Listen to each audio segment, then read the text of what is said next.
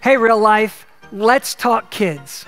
You know, those young humans that usually are off to school by now, but they're still home with you this year. We want you to know we have a ton to offer to every age. First of all, our WILD program is operating online and in person here on campus. Bring your kids out for an energetic and safe weekly time.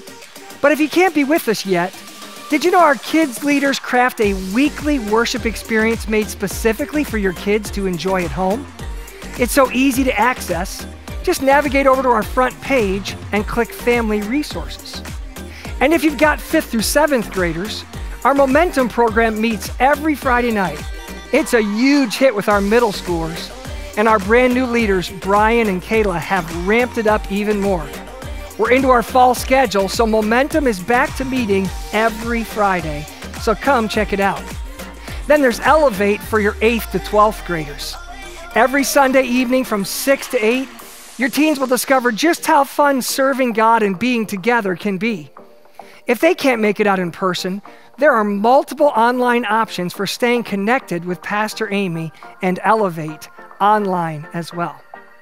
Finally, if you're looking for something where the whole family can come together, join us Saturday night, October 3rd at 7:30 p.m. for an outdoor movie night. Enjoy the fresh air and a heartwarming story together as we watch Toy Story 4. We'll have food and drinks available. Just bring your lawn chair and blankets and enjoy the evening out under the stars. Hey, thanks for listening in. We begin a new series this week at church called Like We Always Say. It's a great way to get yourself recentered on what really matters as fall settles in. So I'll see you here at church or at church online.